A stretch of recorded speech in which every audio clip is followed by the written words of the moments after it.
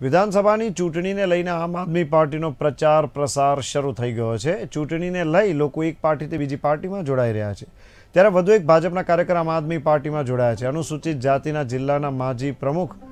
ગોવિંદભાઈ વણકર આમ આદમી પાર્ટીમાં જોડાયા છે કચ્છના મુન્દ્રા માંડવીના ઉમેદવાર કૈલાસદાન ગઢવીએ ગોવિંદભાઈ વણકરને આમ આદમી પાર્ટીનો ખેસ પહેરાવી આવકાર્યા